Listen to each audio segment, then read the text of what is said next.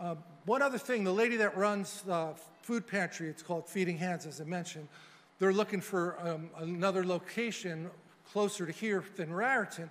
And when we were talking about the needs that they had, she said almost identical words, and you didn't know this, but she said almost the identical words. It's like, what we don't want is them to feel like they're being processed. We want them to get out of their car, come in, do an intake questionnaire, ask some questions, and ask if we can pray for them.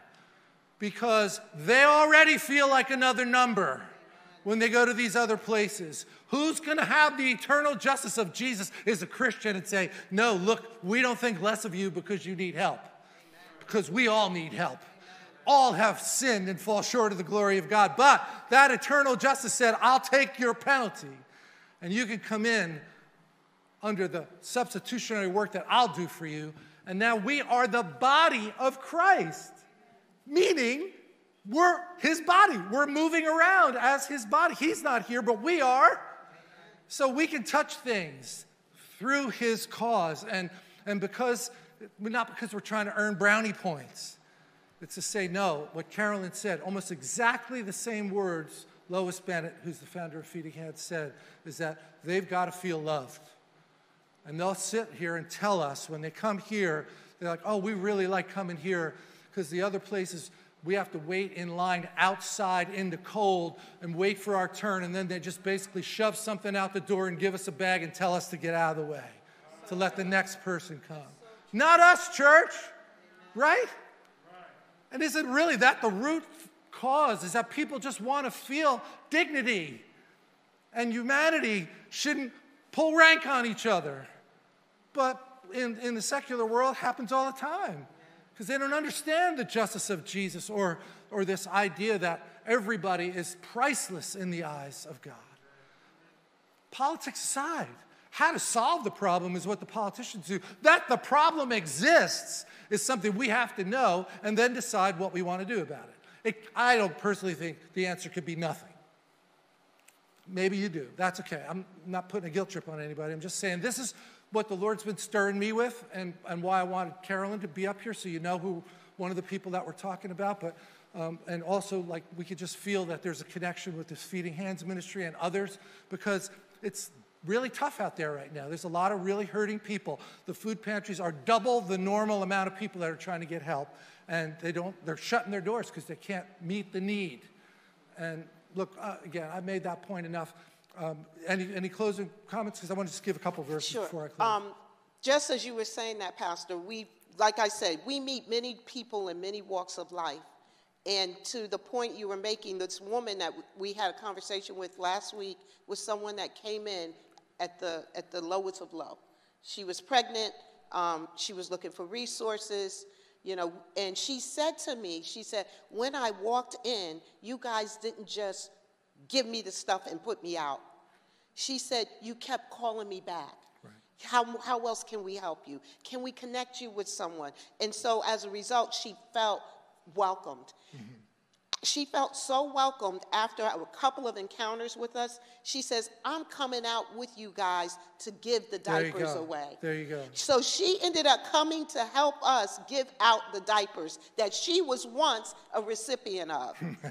And then we had um, a job opening, and just on a whim, we said, Well, what about this young lady? we said, Well, we'll just give her a call. She may not even be qualified.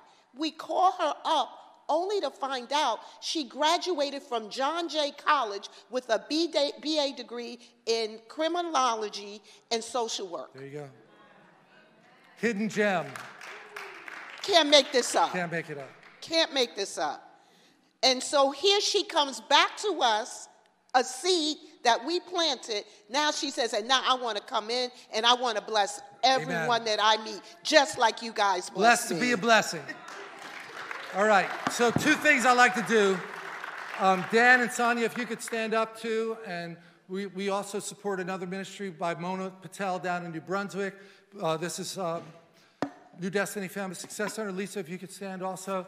Uh, Mona's not here. Just stay out up here for a minute, too, uh, one, one more minute, because I want all of us to pray for them, because they're on the front lines. But then I want Carolyn, because she's got the mic, to release that passion in our heart to just keep our eyes open and our ears open. So please stretch your hand towards the people that are standing. Lord, we just thank you for the commitment that it takes.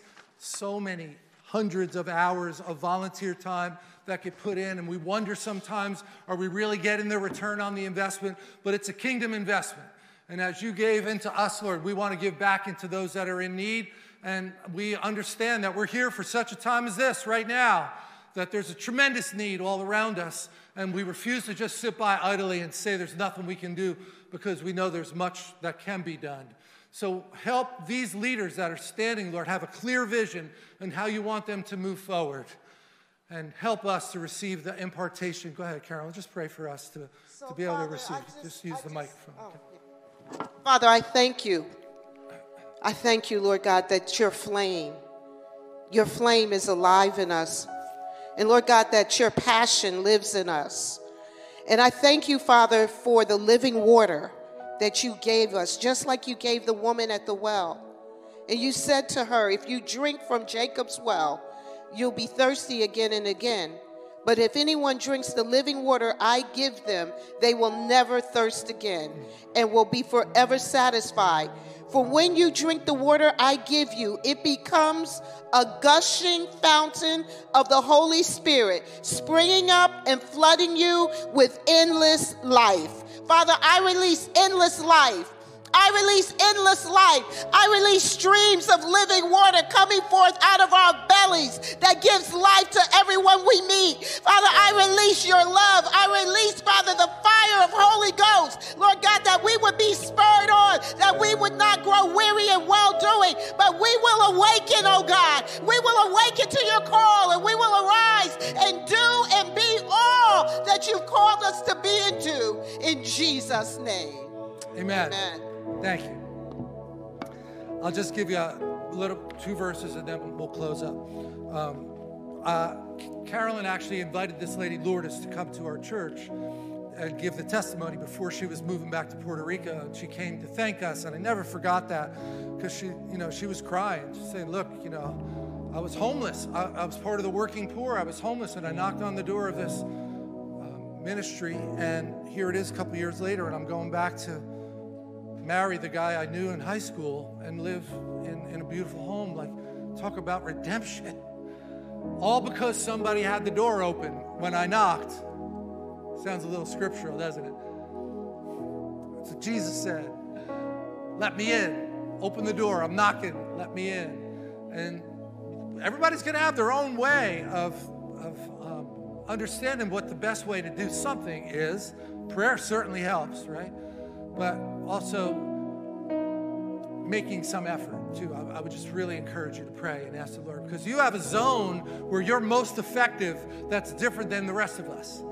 So you really want to find that zone that's going to allow you to flourish in the thing that you're working on. And I actually had gone to the Family Success Center as one of the board members when they were dedicating the new space at the time. It's where they are now, but it was new to them then.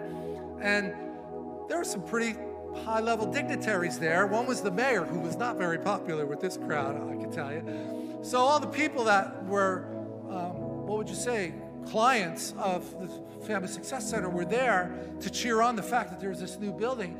And they introduce the mayor, and it's like, what are these? And then they introduce Lourdes, and the whole place goes crazy, right? Because she was the living example of what they all hoped to be able to see the progress. They need a ray of hope. And if the church isn't giving them that, oh man, we are dropping the ball, okay?